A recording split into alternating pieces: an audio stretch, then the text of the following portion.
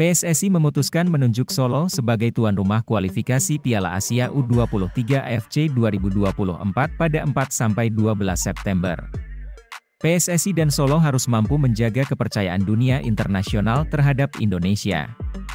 Menurut Erik saat meninjau Stadion Manahan, Solo, Jateng, Minggu, 4 Juni 2023, kesiapan Stadion Manahan yang dinilai FIFA layak mementaskan laga internasional saat inspeksi Maret lalu dan supporter setia klub kota itu, persis yang juga militan pendukung timnas harus dimaksimalkan agar ajang itu berjalan sukses.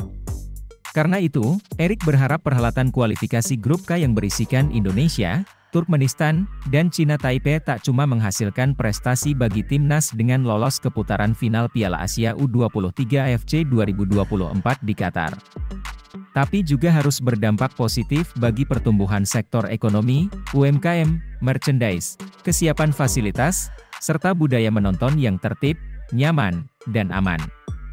Babak kualifikasi akan berlangsung pada 4 Samapi 12 September 2023 yang diikuti 45 kesebelasan dan dibagi ke dalam 11 grup.